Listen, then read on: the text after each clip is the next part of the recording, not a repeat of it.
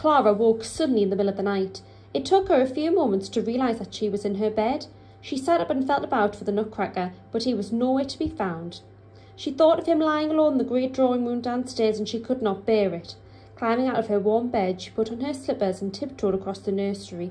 The moon had come out, and as she went down the wide, cold staircase, she could see the world beyond the landing window shining with a snowy brightness.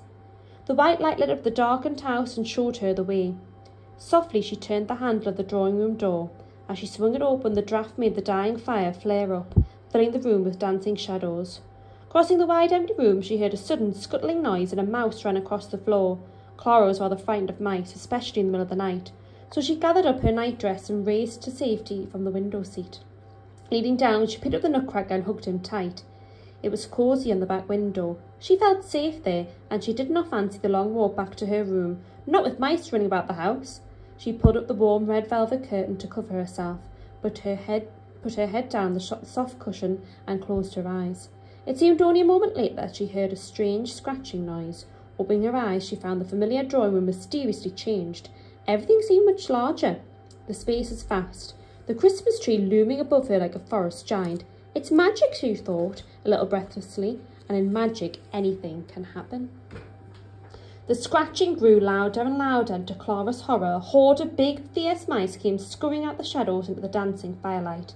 They ran swiftly all over the room, nibbling at the gingerbread man on the Christmas tree, who had to scrabble higher in effort to escape them. Even worse, she saw a huge rat with a crown on its head, who seemed to be the king. Poor Clara! Her heart beat fast, and her hands trembled for fear that he might not notice her in the dark corner.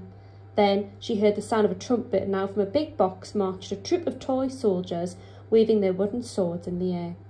Their leader seemed strangely familiar, with a big head and long thin legs.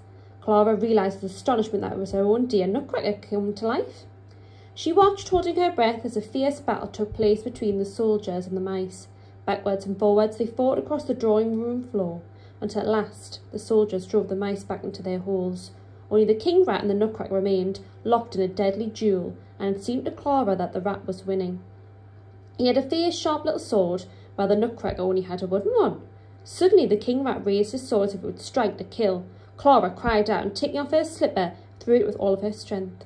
It hit the king rat into the small of his back, knocking him off balance, and at once the nutcracker brought the wooden sword upon its head.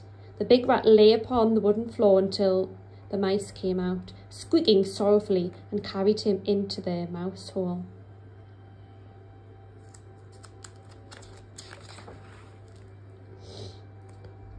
Clara turned back to the nutcracker and saw to her surprise that his strange big head and long thin legs were quite changed. Smiling at her and holding out the slipper was a young and handsome prince.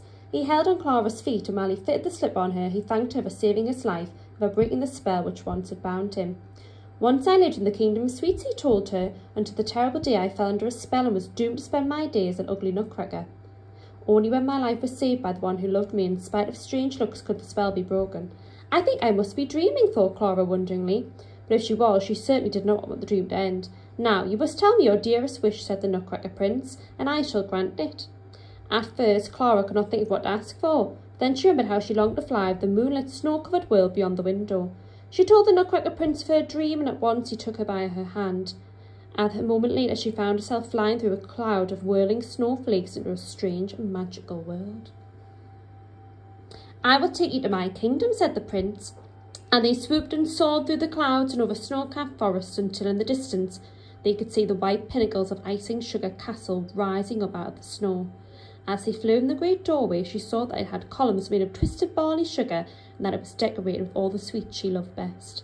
Then it seemed to her that all the sweets were really alive and joyfully welcomed the Nutcracker Prince on his return. The prince presented Clara to the beautiful sugar plum fairy who ruled as queen over the land of sweets. He told her how she had saved his life and freed him from the magic spell. When they heard this, all the sweets began to dance for joy, and Clara found that she was dancing with them. Round and round they went, faster and faster, until Clara grew quite breathless, and her head was in a whirl. Then suddenly the sounds of music died. All was quiet and still, and Clara woke to the first pale light of Christmas morning. Her first fear was that her friend, the Nutcracker, would be gone forever, Anxiously she looked around, but there he was on the window seat, as ugly and comical as before. She picked him up and hugged him. Perhaps it was magic, she told him, or perhaps it was just a dream. Whichever it was, I shall always know that you were really a handsome prince inside. And clutching him in her arms, she set off back to her bedroom before the others would wake and find her missing. The end. Merry Christmas from Miss Hunt.